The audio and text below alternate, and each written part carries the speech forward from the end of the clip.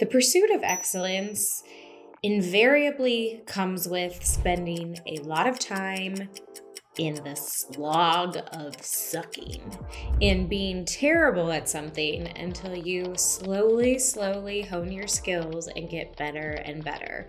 Whether it's sports and spending time drilling, or learning an instrument, or learning something in business, or a new language, you have to embrace being bad in order to be able to make progress. And that is something that is particularly tricky if you are a perfectionist like me because being bad at something, being perceived as anything less than stupendous, is scary and painful and difficult. And so, what do you do? You have goals that you want to achieve, and yet you have these voices in your head that are giving you all of these reasons why you shouldn't. And I've shared a couple of videos recently talking about the ways that I have held myself back and how I'm really committing to doing things differently. And one of the principles that I'm using, I have borrowed from a book that is about something totally differently. So, if you would like to learn more about the unsexy approach to achieving your goals, then let's go ahead and dive into things.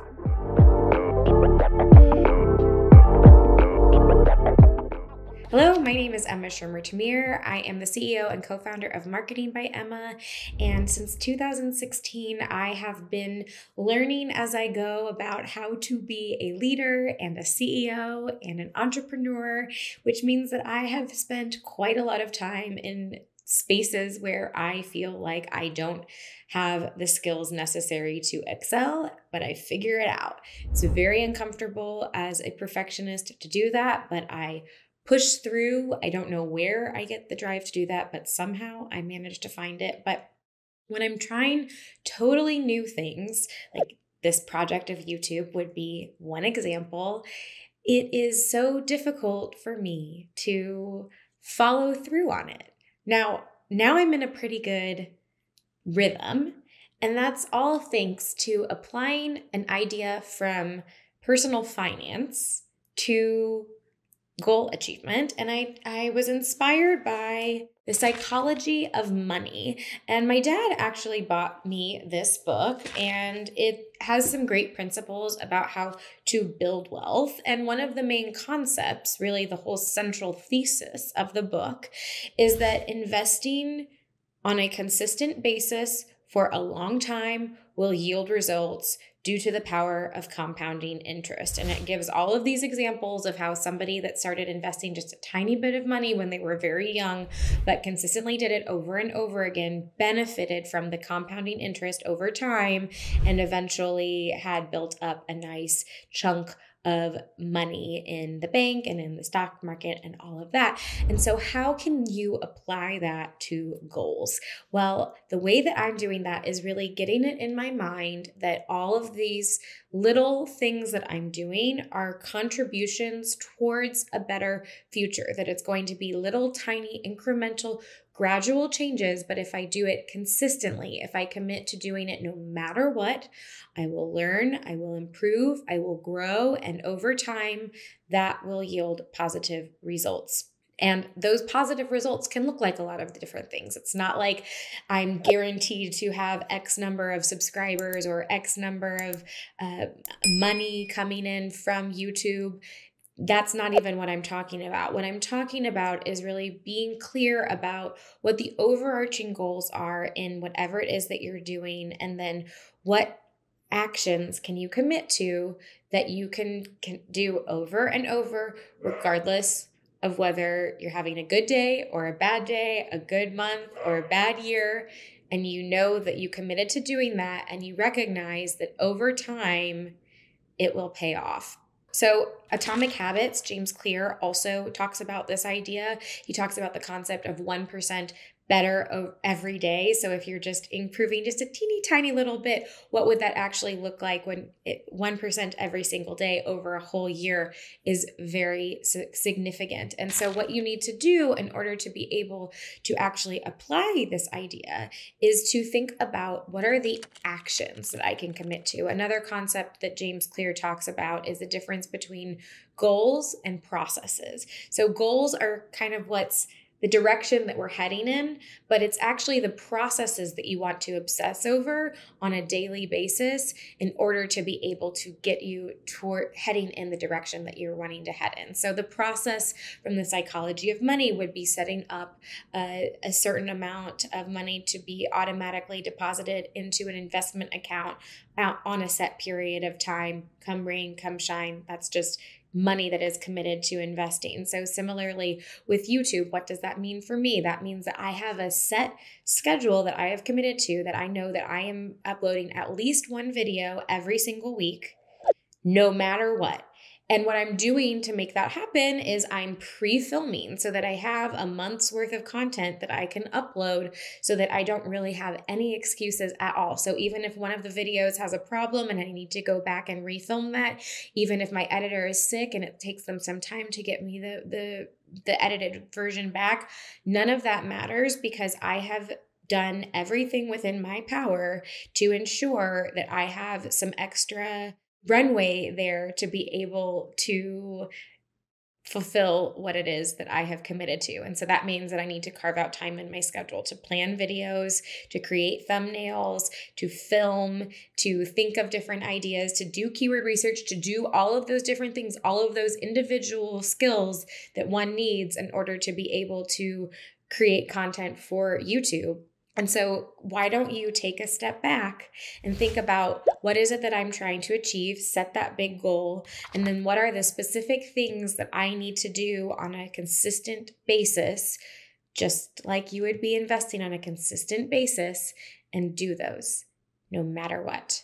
And I know that's hard, and I know it's so easy to make excuses, and whether life gets in the way, or you feel busy, or you get sick, there is no shortage of reasons that are very justifiable for why you can't do something on a given day. And still, if you want to be able to look back a year from now or five years from now and feel that you really gave it your all to going for the goal that you want, then none of those excuses can matter and none of those excuses can get in your way. And so, really think about how much do I want this? How important to me is this goal? And then, what are the finite, specific, maybe even boring things that I can do? And I don't need to be perfect. In fact, I'm going to recognize that I'm not going to be perfect. Perfection is not the goal. Instead, the goal is to stick to what you've committed to. And if you need to adjust a little bit and do a little bit less, but you're still doing the thing, then that's good enough. And so you want to do that over and over and over again. And eventually, with time, you're going to start making progress. You, know, you might not be able to see it on a weekly basis or month to month, but when you look back over six months or a year, you'll be able to really see how far you've come. And so, if we are taking it back to the investment analogy, if you're just putting in $10 a day, or $10 a week, that might seem like no money when you get to the end of the month. But if you look back at that over a year or five years or 10 years, how much does that build up to be, especially when you're adding in the, the interest on that? So, really be thinking about that it's not about always feeling like you're making progress. In fact, sometimes you will feel like you're making no progress at all. I I feel that way today, if I'm being perfectly honest.